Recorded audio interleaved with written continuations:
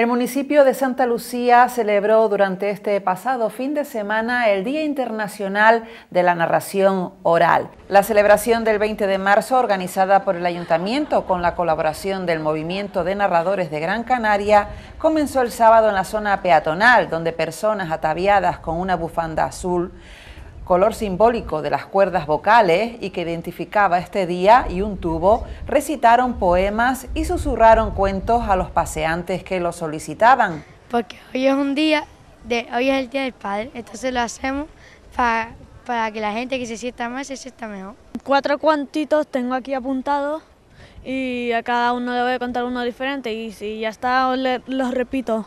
Mira, la historia va de un chico que es sobre la violencia de género. Entonces el chico le dijo a la chica, con tus manos puedes mirar a todo el mundo, con tus ojos, perdón. Y le dice el chico, entonces te arrancaré los ojos. Minutos más tarde le dijo, con tu boca puedes besar a cualquier chico. Entonces le arrancó los dientes y le estirpó la lengua. Al día siguiente el chico le dijo, ahora que eres fea, sé que serás mía hasta la muerte. Le cortó las manos y los pies. Al día siguiente el chico fue en busca de la chica y la chica había sido raptada por un exhibidor de fenómenos. Fin. La conmemoración del Día de la Narración Oral, que se celebra este año bajo el lema Mujeres Fuertes, continúa el domingo en Sardina del Sur con la Noche de Cuentos y Candiles, que arrancó desde el Centro para la Igualdad para finalizar en la Casa de la Cultura de Sardina con una sesión de cuentos en la que también intervinieron alumnos y alumnas de la Escuela Municipal de Música. Eh, la verdad que me pareció una iniciativa muy interesante para rescatar también un poquito la tradición oral y la verdad que una iniciativa muy original.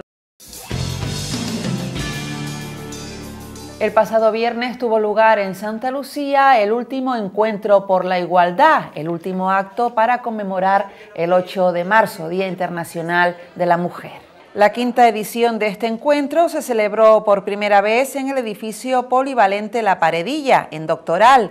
Exposiciones de los trabajos realizados en las diferentes actividades desarrolladas en el Centro para la Igualdad, entrega de diplomas de los cursos impartidos a través del proyecto europeo Urban La Orilla, talleres de manualidades, títeres y actividades para los más pequeños conformaron el programa de esta actividad que tuvieron a la mujer como protagonista.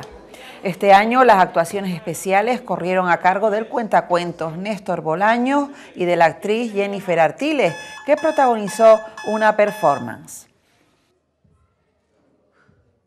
En todos los proyectos a los que nos presentamos y en todos los proyectos que sacamos desde el ayuntamiento, intentamos, como no, compartir, compartir talleres, compartir espacios, compartir necesidades, compartir experiencias, porque afortunadamente somos así, varios géneros, en este caso los hombres, las mujeres, y tenemos que vivir y convivir juntos, y lo mejor es el respeto, el conocernos los unos a los otros, el respetarnos y el compartir la vida lo mejor posible. Cerramos ya el informativo de este lunes con el concierto que se celebró este pasado sábado en el Teatro Víctor Jara. La música de ABBA llenó de emoción y de disfrute a los asistentes. Durante la hora y media, los artistas Cristina James, Cristina Ramos, Kenneth Suárez, Patricia Brici, Diego Borrego, Alejandro Sánchez, Juan Carlos Trujillo y Luis Merino hicieron que el público asistente experimentara un viaje en el tiempo y se trasladara a los años 70 para revivir cantando y bailando todos los éxitos de la Universal Banda Sueca.